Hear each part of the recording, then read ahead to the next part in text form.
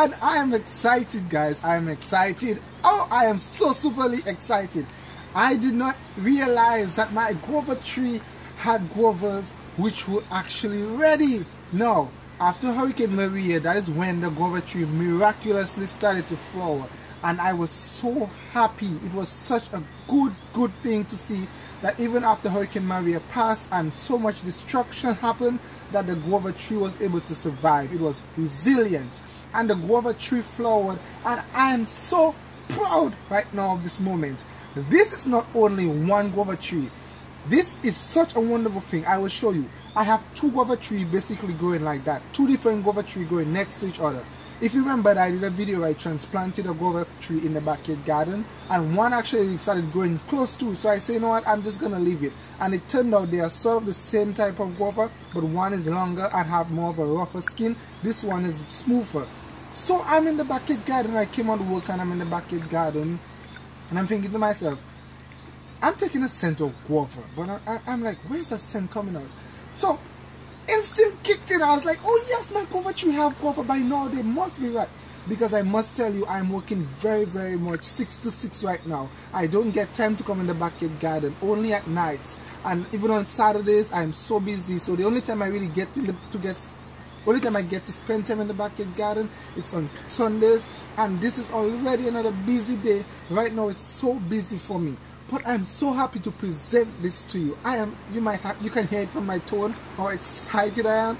This is my first guava from the backyard garden. As you can see, we've got more right here. I've got three of them. So I'm just gonna take a bite right now of this awesome, awesome fruit. Oh, this is a proud moment. Let's see. It is supposed to be red or pink inside, okay? Ironically, when I bought this guava plant, they told me it's a dwarf.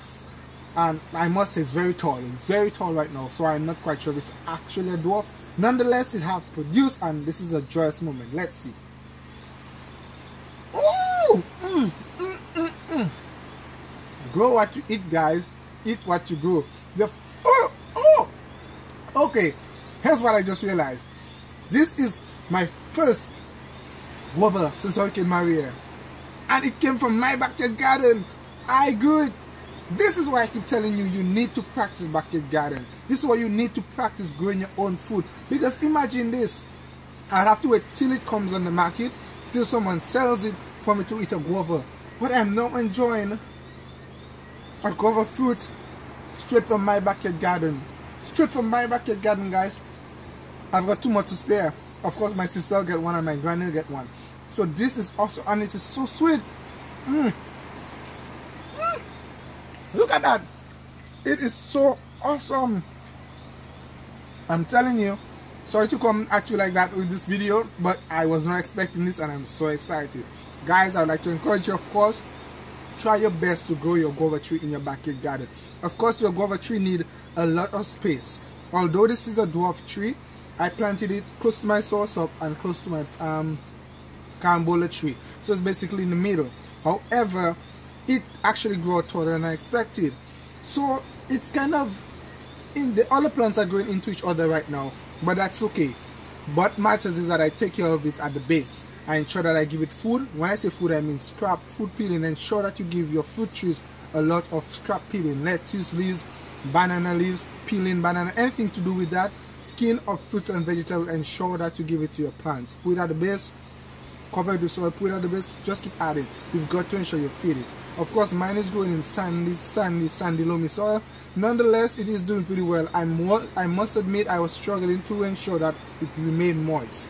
That was one of my problems. Maybe that's why the guava tree grew so big before it actually produced because it was dry not quick because the guava tree demanded a lot of water but the soil where it's planted is very sandy so the water drained out very quick or it evaporated very quick so I had to add a lot of leaves to it and here's the day today where I can actually be so very happy that I can enjoy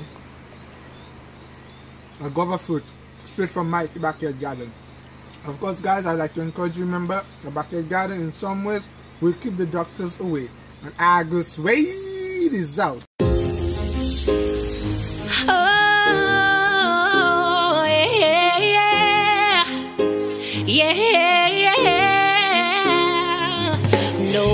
Heartbreaking fairy tale love.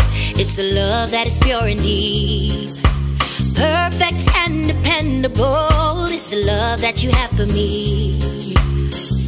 And all I ever try, Lord, is to do the same. I wanna love you with a deep love, so I praise and bless your name.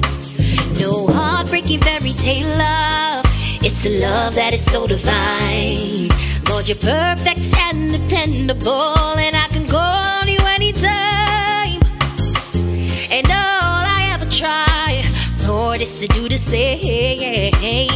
I wanna love you with that deep love, so I praise and bless your name. Cause there's no distance between us. You're always